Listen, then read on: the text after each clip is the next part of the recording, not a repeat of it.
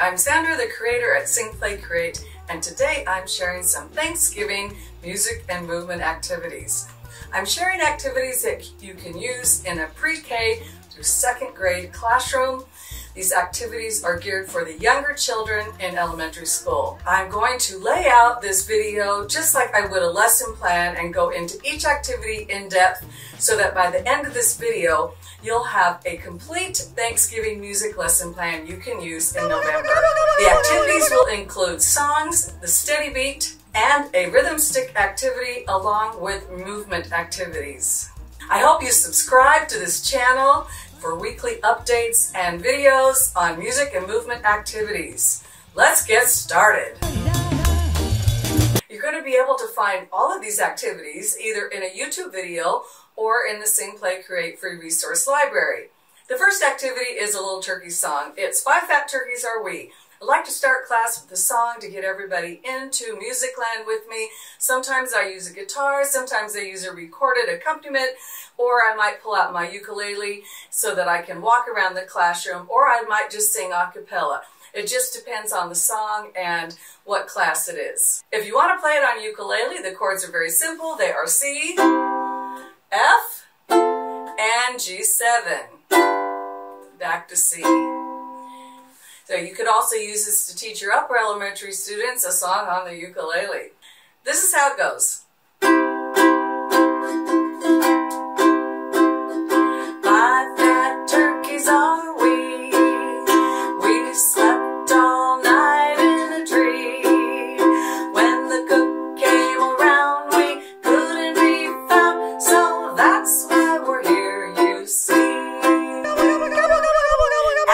The song, I'm going to teach the children the hand actions. It's just pretty easy. We're just going to be turkeys and we're going to be standing up with our turkey feathers. Five fat turkeys are we. We slept all night in a tree. And then we're going to look around the whole room. When the cook came around, we couldn't be found. And they can duck down or hide like this. We couldn't be found. So that's why we're here, you see. And then I do just a little bit of pretend play here and I tell them they can strut around and I count down from 10 and be turkeys 10. Gobble, gobble, gobble, gobble, 9, 8, 7, 6, 5, 4, 3, 2, 1. They have to be back on their dots. The first time I do the activity, I'm teaching it to them, so I will show them what to do, and I'll be a silly turkey, and I'll move around, and then I will get back on my dot before I say 10, and then I have them do it with me.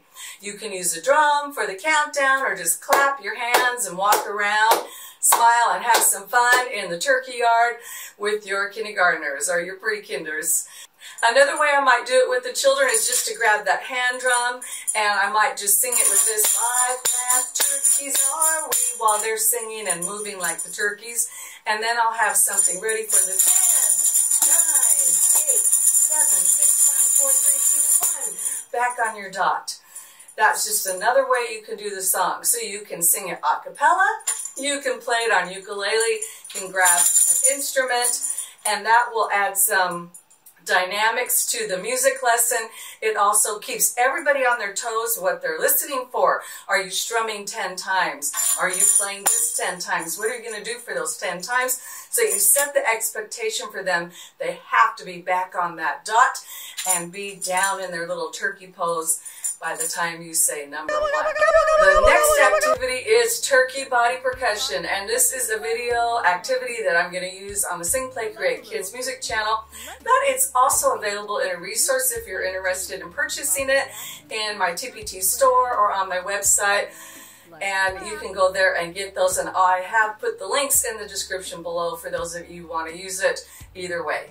Whenever I do a video, a YouTube video, especially with a steady beat or a rhythm play along or body percussion, I take my time the very first time going through what is expectations. I don't just push play and have them do it. So I'll start the video and then I'll have them model each action in the video like you can see and I'll have them show me that action. I might even grab uh, my hand drum for the very beginning of the activity especially if I'm doing pre-kinder and kinder and it's you know, we're not that far into the school year yet with them.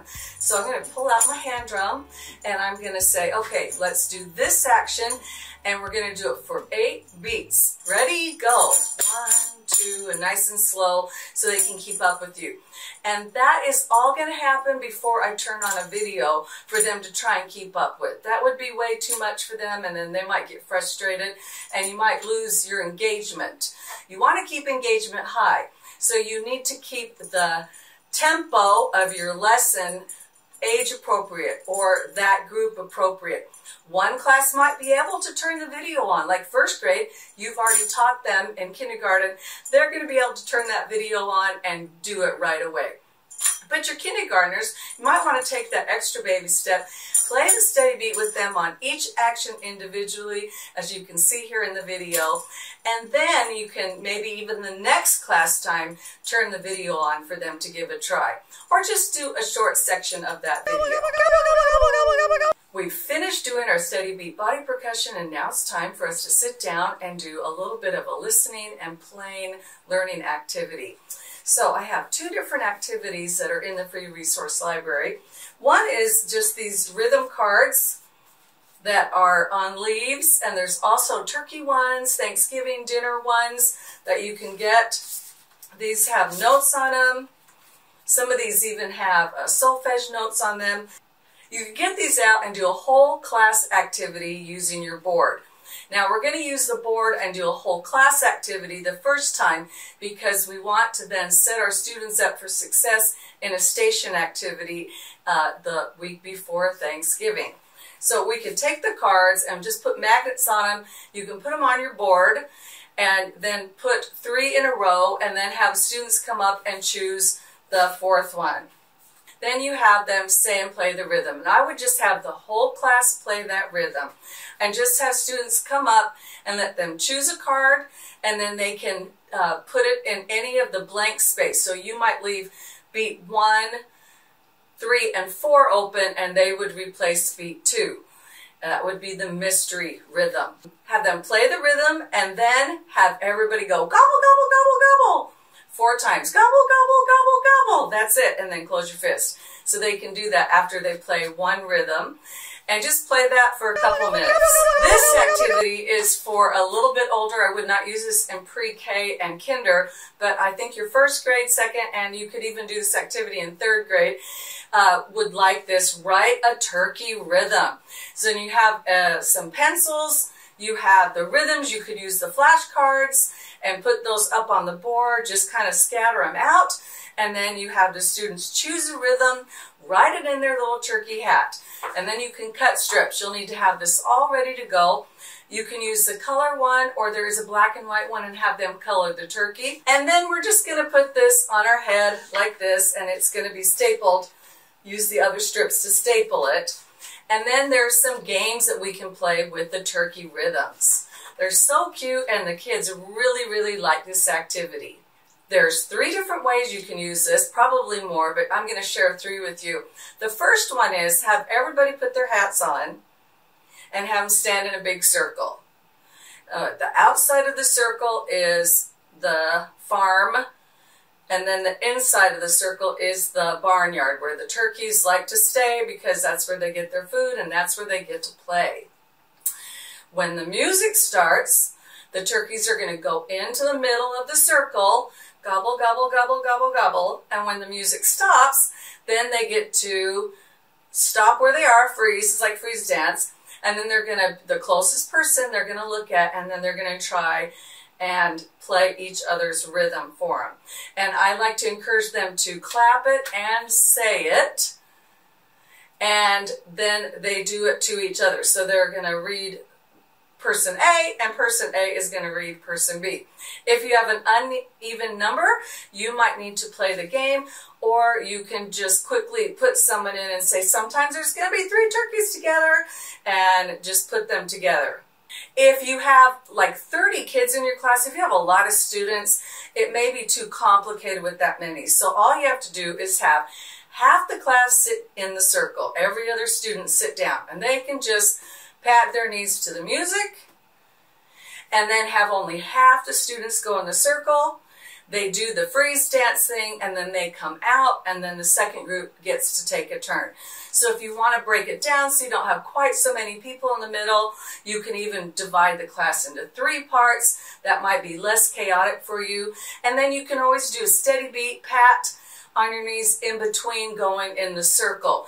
So you can extend the activity into a little bit longer time, even up to 10 minutes, by breaking the students into groups and then adding in that steady beat activity in between.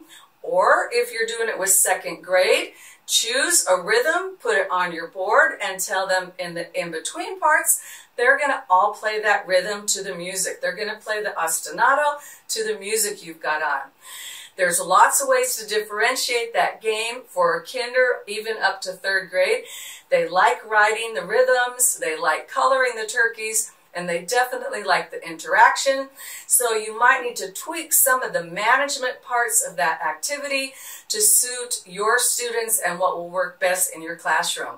If you need help with those ideas or you're stuck, maybe I can help you. Go ahead and leave a comment below. Or if you have a really good idea that you've done already, please share it with us. We would love to hear about it. Okay, there is a blank one of these headbands in the free resource library. And the other game is to actually print these on different colored paper so that the students try and match up with their color.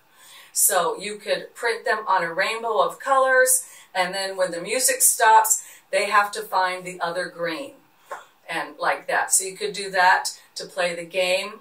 And then you could also put the colors in groups and so all the green turkeys would be in one group and you would just have them sit in a group and play each other's rhythms. Then you could say, okay, green and yellow together. And then you could do that.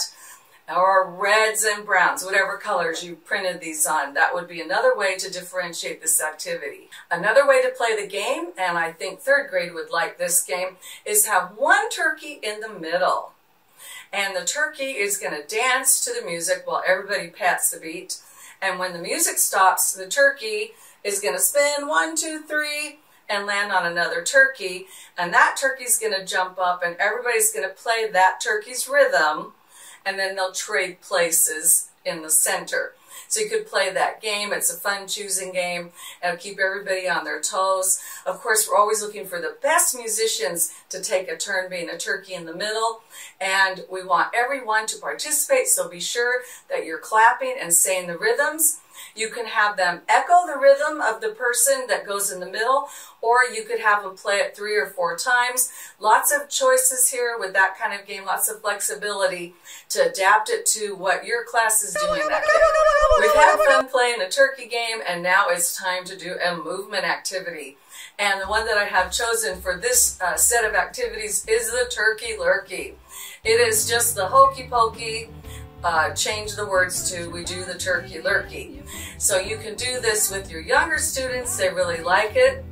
I like to go through all the body parts first with the younger ones, especially if you're doing it with pre-K and K. You put your right wing in, put your right wing out. And so I'll go through all of the words with them and do the actions. And then when we do the turkey lurkey and we turn ourselves around, show them how to go all, all around. That's what it's all about.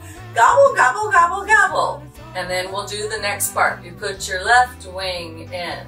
And then I do the whole turkey at the very end. You put the whole turkey in. You put the whole turkey out.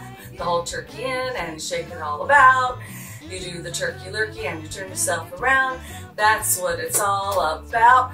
And if you want to, you can go yum, yum at the end. Or all the turkeys can run free. Go on, go on, go a little crazy at the end. So the Turkey Lurkey is a video on the Sing Play Create YouTube channel. Um, and it also is on Spotify, Amazon Music, Apple Music, and it's a resource if you want to have all the materials that go with that activity. Now we can pick up our instruments and have an instrument activity, and I'm going to be using rhythm sticks. We're going to use the Five Fat Turkey song that we sang at the beginning of class. So I will review that song and have everyone stand up and sing it. Five fat turkeys are we. They sing it through and they'll have them sit down and then I'll give them some rhythm sticks. You can adapt this lesson to really focus on a steady beat or you can add in a rhythmic ostinato, which is in the free resource. What I do first is have the students just play along on a steady beat. I either sing it and on the ukulele while they're playing, or I prefer to be playing along with them, and so I like to use a recorded version of this song. You can find that also on Spotify, and I'm sure there's some other versions around, or you could record yourself ahead of time just so you have the sound going and you can focus on playing rhythm sticks. The first thing we'll do is just tap the steady beat to the music. Five fat turkeys are we, we slept all night in a tree. When the cook came around, we couldn't be found, so that's why we're here, you see. It's pretty easy. You could do some fun things with it. You could do an overhead. You could do the right to the left and have the students follow you. If you want to stick to the steady beat only part of the activity, that would work really well with your kinders and your pre-Ks. So you can go down, in the middle, then up, to the middle, then to the right, to the middle, to the left, to the middle. And you could do very simple motions for them and see if they can follow you along just using the rhythm sticks on the steady beat. If you're using it with a little bit older children, then you can give them an opportunity to play an ostinato. So the ostinato is going to be tagged to the end of the line. Um, it's, it's just another part, really. It looks like this. Five fat turkeys are gobble, gobble, gobble. Slept all night in a gobble, gobble, gobble. When the cook came around, we couldn't be found. So that's why we're here. You gobble, gobble, gobble. Rest. So that's ostinato, as you can see. Uh, that's in the freebie uh, that you can get in the free resource library. And so you can have the students then break into two groups, and you can have one group just playing that nice steady beat. Five fat turkeys are we. And the second group is going to play the ostinato part and say gobble, gobble, gobble, rest. And I do give them, you know, the motion for the rest. Uh, everybody does a little differently, but I just have them go out like this, rest. Gobble, gobble, gobble, rest. Gobble, gobble, gobble, rest. So I give them what they're supposed to do so it's very clear to them and they're not confused and practice separately. And then you can divide the class into two groups, have them play the parts, and then you can switch the parts.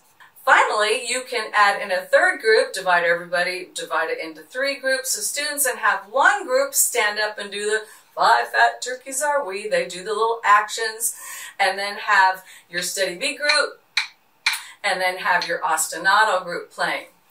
I like the sound of shakers on the beat for the steady beat in this song when I'm putting it with the rhythm sticks. You can use a drum. I just like the sound of the shakers because it reminds me of the feathers ruffling. So I would give the students a shaker to play the beat and then we would use the ostinato, uh, we would use rhythm sticks for the ostinato. Now it's time to do a movement activity and we're going to have three different choices here that I've got. One is called Do the Turkey Dance, and it's actually a dance like a turkey. The other one is to do Turkey Freeze Dance, which they might really like to do. And then there's Turkey Scarf Activity. And scarves are a great movement activity because they can really get the feel of a turkey and the flowing. And so for me, that's probably the one I would choose is to do scarves after all of the rhythm and the steady beat activities. If you run out of time or the kids are just too tired because there's a lot of movement and busyness engagement going on with these activities, it might be time for a story. I did go and find one that I think would be great to use. It's called There Was an Old Lady Who Swallowed a Turkey. And you can find that link in the description. You could have the students sit down and read a book. And there's lots of different turkey story choices. I even think there's a Five Fat Turkey storybook that you could use, and that would be a really nice ending to this music and movement activity all about turkeys and Thanksgiving. I hope you found this video useful and it will help you with your November lesson planning. If you like this video, please give it a thumbs up and don't forget to subscribe to the channel. It's really appreciated. Let's keep kids moving and learning with music. Sing, play, create.